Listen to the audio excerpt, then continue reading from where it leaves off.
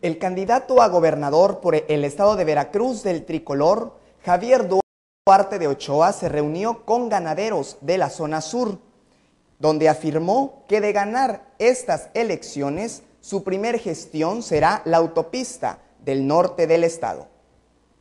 El sexenio que inicia el próximo 1 de diciembre será el que emprenda el proyecto más ambicioso de obra pública para la entidad. Así lo dijo Javier Duarte de Ochoa, candidato priista al gobierno del estado, al reunirse en la ciudad de Pánuco con representantes de sectores productivos de la región norte. Aquí sus palabras. A partir del primero de diciembre, mi primer acto como gobernador constitucional del estado será el inicio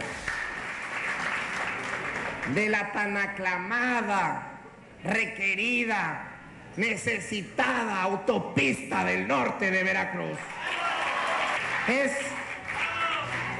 necesario que el norte de Veracruz esté conectado con el resto de la entidad veracruzana.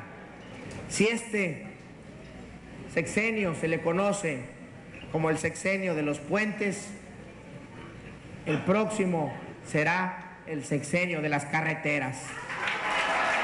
Además, el abanderado de la coalición Veracruz para Adelante indicó que el problema de la inseguridad no es causa, sino una consecuencia de la desatención en el país de los factores que generan empleos, por lo que indicó. De ahí que el objetivo fundamental por donde trazaré toda mi atención será en la apertura de posibilidades y oportunidades para nuestra gente, el empleo fijo y bien remunerado en Veracruz.